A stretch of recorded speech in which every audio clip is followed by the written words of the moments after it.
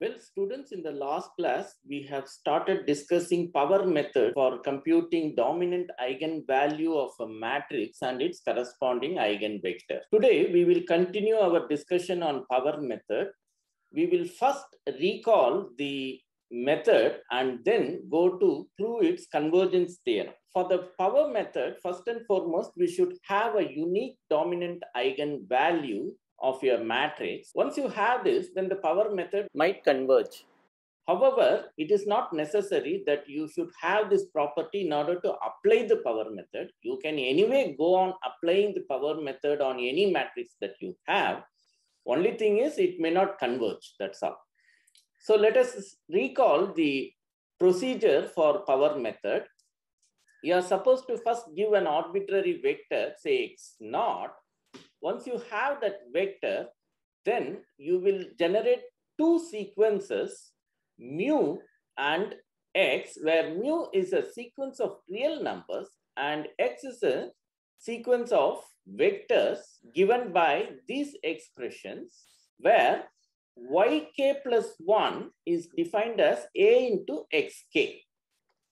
Recall that you already have x naught, which you chose arbitrarily, from here, you can obtain y1 by directly multiplying the matrix A with x naught. And once you have y1, then you look at the component at which the infinite norm is achieved.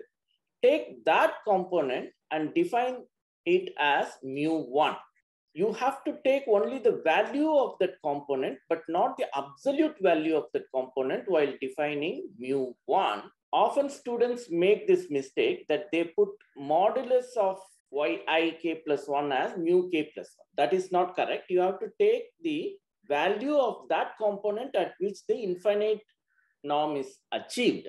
Say, for instance, if your y1 is, say, minus 2, 1, and 0.5, then your maximum norm is achieved at the first component. And therefore, mu1 should be taken as minus 2, not just 2. Okay. So this is very important. Often students make this mistake. And then xk plus 1 is defined as yk plus 1 divided by this mu k plus 1. Okay. So since you have x naught, you can generate y1. From there, you can get mu1. And once you have mu1, you can get x1. Once you have x1, you again put it here and get a y2. Once you have y2, see which component achieves the maximum norm. Take the minimum of all the components at which the maximum is achieved and take its value, not the absolute value, its value and define it as mu2. Once you have mu2, define x2, and like that, your iteration will keep on going. So in that way, you are generating two sequences. The sequence of real numbers mu k is expected to converge to the dominant eigenvalue of your matrix and the vector sequence xk is expected to converge to an eigenvector of the dominant eigenvalue lambda. So that is the procedure for power method. Let us give an example of how to compute the, these two sequences using power method. Let us take the matrix A, just for your information, its eigenvalues are given like this. From here, you can see that the power method, if you apply to this matrix A, it will surely converge. But not given this information, we will not know whether power method is going to converge to the matrix that we have in hand or not. Okay. Since it's a three by three matrix, it is very easy for us to compute this uh, eigenvalues. Therefore, I showed, but in practical life, we may be having a thousand cross thousand matrix or something more than that, in which case you just have to go ahead with power method blindly if you want to find the dominant eigenvalue without knowing whether it has a unique dominant eigenvalue or not. And it's also its set of eigenvectors spans the space Rn. So these two are the hypotheses of the power method. Both the hypotheses cannot be tested beforehand. Therefore, one has to blindly up, apply power method at this level. Again, for our information, we also have its corresponding eigenvectors given by these three vectors. Now let us see how to compute the iterations. For that, you have to start with a initial condition x naught, and that we have taken as 1.5 and 0.25. What is the first iteration for us? Well, you have to first find y1, which is nothing but a into x naught. That is given by this. And in this, the maximum norm for y1 is achieved at the third component. Therefore, the value of the third component, not the modulus of it, here it doesn't matter. But if this was minus, then there is a scope for us to make a mistake. So we have to be very careful in taking the value of the component, which is in this case 7.25, and that is defined as mu1. And that is the first term of the sequence that we hope to converge to the dominant eigenvalue. The dominant eigenvalue in our case is 3. Therefore, the first term of our sequence is 7.25, which is reasonably far from what we want. But nevertheless, we hope that as we go on to higher and higher iterations, this mu will tend to go closer and closer to the dominant eigenvalue. Let us see that. Before that, let us also see how x1 is coming. x1 is nothing but y1, that is this vector divided by mu1. And that is given by this vector. Therefore, we have computed iteration 1 and we see that we are nowhere near to what we want in both the sequences. Let us go to the next iteration and see how that comes out. Well, I have just recalled uh, our eigenvalues and eigenvectors of our matrix just for our convenience. Y2 is computed by a into x1, and that is given by this vector.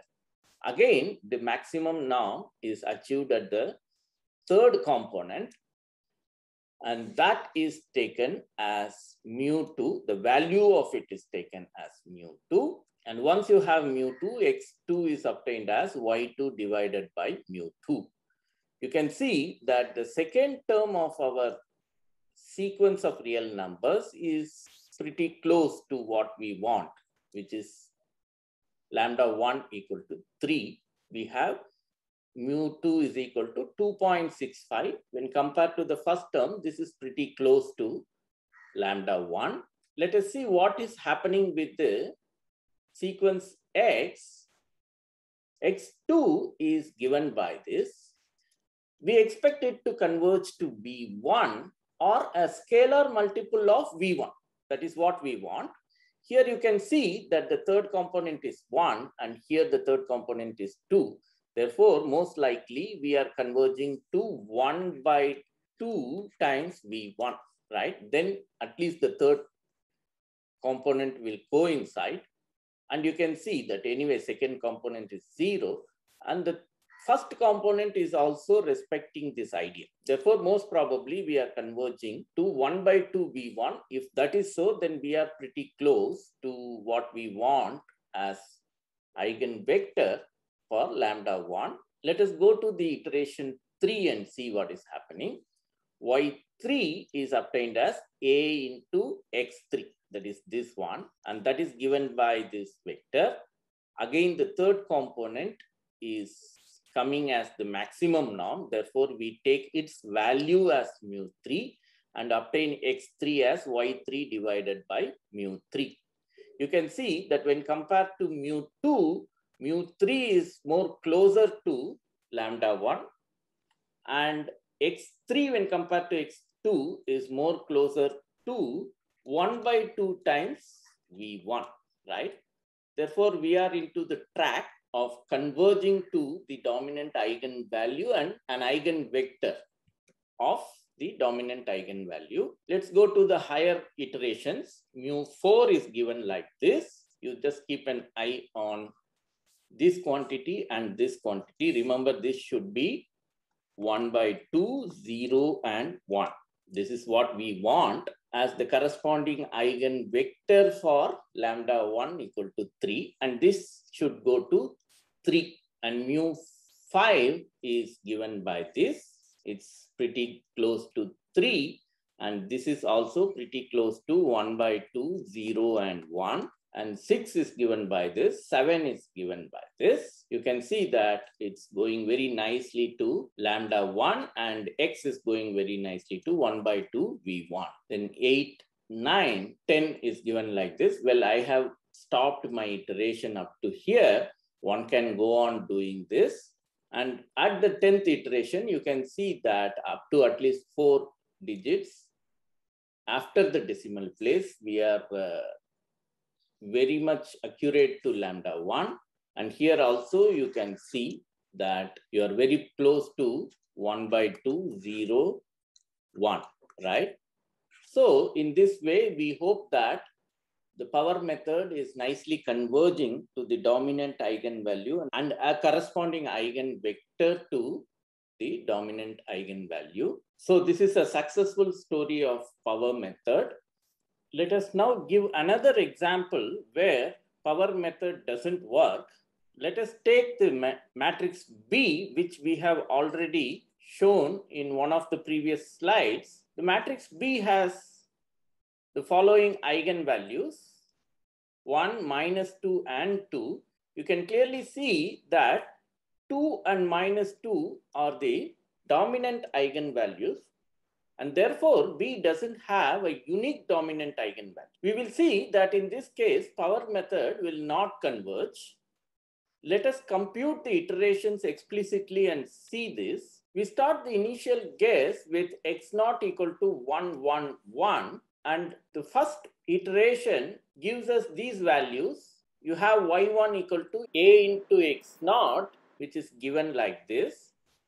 And the maximum norm for y1 is achieved at the first component. Therefore, we have taken mu1 equal to 8 and then x1 equal to y1 by mu1. One more important thing you would have noticed in the last example also that the maximum norm of xk will always be 1, right? Why it is so? Because we are always normalizing y vector and that is what we are calling as the x vector, right? Therefore, x is always a unit vector with respect to the infinite norm. The second iteration is given by this. You just keep observing mu2, at least we know where it should converge. It should converge either to minus 2 or to the value 2. Let us see what is happening in the iteration 3, we got mu 3 like this. Iteration 4, we got mu like this. And like that, we keep on going for several iterations. And at 997th iteration, well, I have done it on a computer. We cannot manually do it. The value of mu is given by this and at the 998th iteration, mu value is like this. Just remember these two values. Let me go to the next two iterations. 999th iteration is same as the 997th iteration. And the 1000th iteration is the same as the 998th iteration.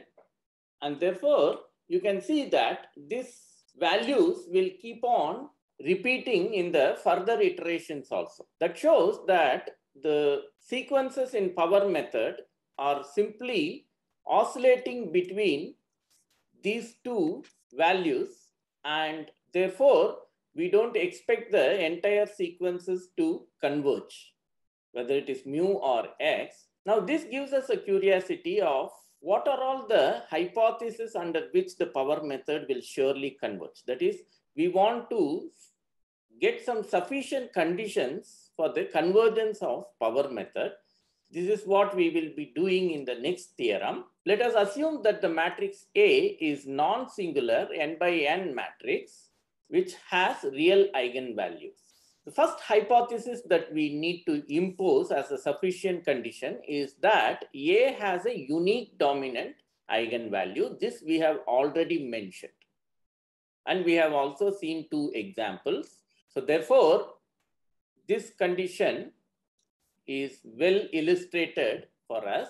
And the next hypothesis is also already mentioned. A has n linearly independent eigenvectors. That is, eigenvectors should span Rn. That is what this hypothesis means. Why we need this hypothesis? Because this will allow us to represent x naught as the linear combination of the eigenvectors, right? From there only we recursively apply A and every time we remove lambda 1 outside and that is how we generated the sequences, right? Therefore, this is very important. And the last hypothesis, which I have probably not mentioned, is that whatever initial guess that you choose, well, of course, you can represent it like this because VIs are spanning Rn. But then the hypothesis says that you should choose your X naught in such a way that C1, that is the first term of this representation, that scalar should not be equal to zero. Of course, X naught should not belong to the kernel of AK for any K that we take. But then what happens if you choose your x naught in such a way that C1 is equal to 0. Then if you remember, we are applying A recursively to x naught and every time we are removing lambda k outside and what remains is C1, V1 plus the other terms, right? The other terms goes to 0 as k tends to infinity thanks to this uh, dominant eigenvalue condition. Therefore, what remains finally will be C1 into V1. If C1 happens to be zero, then there is a problem, right? So that should not happen. That is why your C1 should not be equal to zero. One has to choose your X not like that. This is a main drawback. In fact, all these are drawbacks for the power method because when you go to use power method for any matrix, you are actually expected not to know any of this information, right? Therefore, uh, applying power method in this sense is just a blind work. But nevertheless, for convergence theorem, these are the sufficient conditions.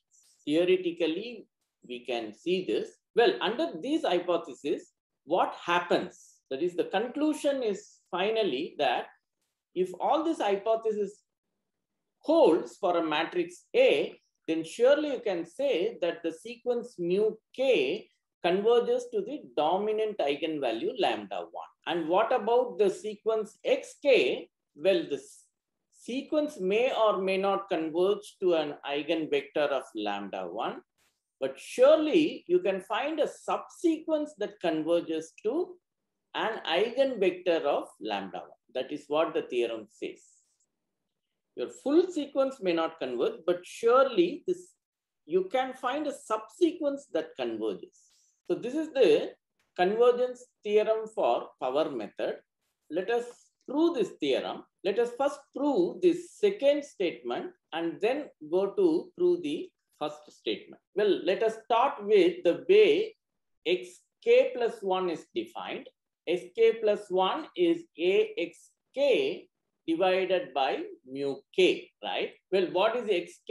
xk is nothing but yk divided by mu k, right? Therefore, you have a into yk divided by mu k plus 1 into mu k. So that is what I'm writing here. Now again, what is yk? yk is nothing but a times xk minus, right? So it is a square xk minus 1 divided by mu k plus 1 into mu k. Now you can keep on continuing this idea And you can see that that is recursively you put again xk minus 1 is nothing but yk divided by, this will be yk minus 1 divided by mu k minus 1. Already one mu k is there and mu k plus 1 is there. And that can be written as a cube xk minus 1, right? Mu k plus 1 mu k into mu k minus 1. Like that, it will keep on going. Every time you apply this, you will gain one power here and one term will come here, right? Like that, you keep on going when you reach x naught, you will be gaining k plus 1 power for a and in the denominator, you will keep on including one term in the product and that will finally give you the product of the mu's up to mu k plus 1. Now, this implies that xk plus 1 can be written as ak plus 1 x not, That is what I'm writing here, right? And what remains is 1 by mu k plus 1 up to mu 1. That I'm using a separate notation mk plus 1 and that I am writing here. Therefore, xk plus 1 equal to mk plus 1 ak plus 1 into x naught. This is what we got. Now we see, we know what is x naught, right? x naught is nothing but sigma i equal to 1 to n ci vi, right? Where vi's are the eigenvectors corresponding to the eigenvalues lambda i's. And that is what is x naught. So I will substitute this expression here and I will get this expression. Where, if you remember, I had a ak plus 1. So I'm just multiplying that ak plus 1 on these expressions and thereby I'm getting this. Every time when I'm multiplying, I'm getting a lambda. Out of all these lambdas, lambda 1 I'm pulling outside and that will make lambda 1 to sit in the denominator in the other terms other than first term, right? This idea we have already done in a different way when we are deriving the power method sequences. The same idea I'm doing here. Now you take norm on both sides. Norm on both sides, that is infinite norm. And you can see that since norm of x is 1, you should go back and see why norm of x is always 1. I have just now explained because xk's are normalized y vectors, right? Therefore, their infinite norm becomes 1. They are normalized in terms of the infinite norm, that is L infinity norm, and therefore, the left-hand side becomes 1 the right hand side is, well, this is a scalar that therefore it comes out as modulus. And what remains the vector is just taken with the infinite norm now. Now you take k tending to infinity. What happens? This term will go to zero, right? Why? Because of the assumption that lambda 1 is the dominant eigenvalue. Therefore, all these numbers are less than 1 and hence their power k makes this entire term to go to 0 as k tends to infinity. Now what remains therefore is mk plus 1 lambda k plus 1 into norm cv1. In that also you can remove c1 outside and make it modulus of C1. And this entire thing you take to the other side. That is what I got here. Now you can also see that why we have assumed C1 not equal to 0, right? That is sitting in the denominator here. Well, we got this. Now what to do with this? Let us see. If you go back and see this, you will see that xk plus 1 limit enter k tends to infinity will therefore be converging to this, that is mk plus 1, lambda 1 k plus 1, c1 v1, right? In that, this term is going to be given like this. So I will substitute that here, but that has a modulus. Therefore, it can this can be either plus 1 by mod C1 V1 or minus of that, right? So that is what we are writing. Limit k tends to infinity, xk plus 1 will be limit k tends to infinity, mk plus 1 lambda 1 k plus 1 into C1 into V1. But this is going to be either plus 1 by mod C1 norm V1 infinite norm or minus of that. Okay. Therefore, this entire sequence will either converge to plus V1. V1 is here already. C gets cancelled with the denominator divided by norm V1 is here, that is what we are putting. So this entire sequence either converges to plus this value or minus this value, or it may oscillate between these two, right? It may also oscillate. That is also one possibility. Why should it converge? We have never told that it will converge, right? It may also oscillate between these. In which case, we can say that there exists a subsequence. You can always extract those terms which leads to one of these values and that subsequence will converge to that value, right? There exists a subsequence that converge to plus V1 by norm V1 or there exists another subsequence that converges to minus V1 divided by norm V1. So if the sequence oscillates between these two values, then we can say that there exists, in fact, and we can say, and there exists another subsequence that converges. Okay, so this is what the conclusion of 2, which says that your sequence, well, it may not converge, but there exists a subsequence that converges right? If this happens, then the entire sequence itself can be taken as a subsequence. Or if this happens, again, the entire sequence can be taken as a subsequence.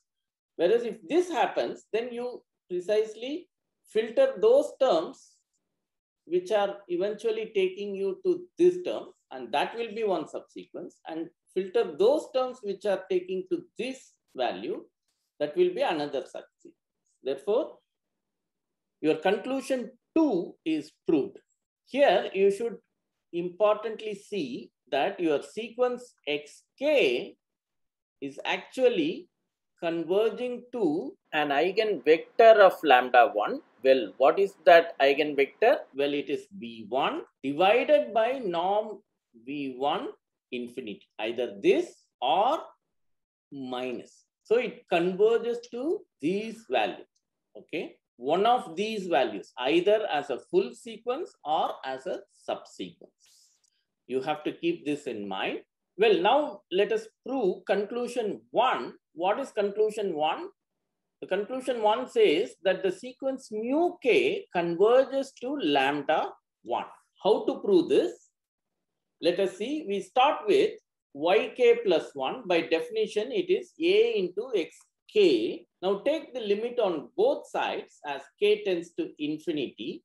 We have this and that can be written as why? Because we know that now xk is going to converge to v1 by norm v1, right? Either it is plus or minus. Therefore, when I apply A to it, that will converge to lambda 1 times V1 and this scalar will be kept as it is. I will call that as K. Okay, K is plus or minus 1 divided by V1 norm, that is infinite norm. And A into V1 will become lambda 1 into V1. Well, this can happen up to a subsequence right? As we saw, the conclusion two doesn't say that the entire sequence will always converge. It can only give us a guarantee up to a subsequence converge. Therefore, this happens up to a subsequence that we have to keep in mind. Now, you look at the right hand side, it is actually a non-zero vector. Why? Because V1 is a non-zero vector, right? V1 is a non-zero vector by definition of eigenvectors. Therefore, there is at least one component of yk plus 1 which converges to a non-zero number, right? Because this is non-zero, therefore this limit should be non-zero. Hence, at least there is one component of yk plus 1 which is converging to that non-zero component. Let us call that non-zero component as the jth component and let us fix that component and see what happens. Since this jth component of y is converging to a non-zero number, you can always find a integer large enough such that yj of k plus 1 is not equal to 0 for all k greater than equal to n, right? Because it is converging to a non-zero number. Therefore, after a large number of terms, it will surely be sticking very close to that non-zero number. And therefore, all these terms of the sequence yj will be non-zero. This I hope you can see it with your experience of convergence of sequences of real numbers. Similarly, you can also conclude that that component of xj will also be non-zero, right? Because yj, if it is non-zero, xj is just a normalized uh, y vector normalized with respect to the infinite norm. Therefore, if x, yj is non-zero, then xj will also be non-zero. Now, go back to the definition of the vector x is nothing but y divided by mu. Therefore, I'm writing mu into x as y. That gives us mu is equal to, now what I'm doing is I'm just picking up one component of both these vectors. That's what I'm doing. That component for which you have seen that both yj and xj are non-zero for large enough k, right? So that component j alone I'm picking up from x and y, and then I can push this to this side. See why I'm doing it? Because I cannot divide by the vector. That is why I'm just picking up one component and then dividing. Okay, so that way mu k can be written like this. And that is nothing but by the definition of y, it is a times xk. And x, x I'm keeping as it is and taking the jth component. Just writing this like this, right? And then that jth component we are taking, yeah, where j is such that it uh, comes like this. You have chosen it like this, you just choose any one component of y and the corresponding component of x for which they are non-zero. Surely such a component will exist. That's what we have seen. The idea is coming from here because at the limit, y is actually converging to this vector and this vector is a non-zero vector. Therefore, at least one component will be non-zero. From there only we are picking up this j. Among those non-zero components, you can choose anything. That is not a problem. Now you take limit on both sides, k tending to infinity. On both sides, you take the limit. You get limit k tends to infinity, mu k equal to, I'm just writing a into xk. a into xk is given like this, k lambda 1 bar into v1, right? So that's what I'm k into this lambda times v1, right? That's what in the next step I'm writing. Similarly, in the denominator, you have the same x we have already seen x k plus 1 is actually converging at least up to a subsequence plus or minus 1 by norm v1, right? That is our k. If you recall, that is our k times v1. And that is what I have put here because in the denominator, we had one of the components of xk plus 1. That I just substituted by this. Whereas in the numerator, we are taking yk plus 1, its jth component, right? And that is nothing but axk and its jth component. And xk is given like this. That is how this term is coming. And now kk goes off. And one component of v1 and the same component of v1, even this gets cancelled. And you have lambda 1 finally as the limit of this sequence. So this is how we see that the sequence mu is converging to lambda 1. By the way, the method defines mu k, it is not very clear why that mu k has to converge to lambda 1. But by going through this proof, it is very clear that yes, this sequence mu k is converging to lambda 1, provided those hypotheses, three hypotheses that we gave are satisfied by the matrix A. And this completes the proof of our theorem on the convergence of power method.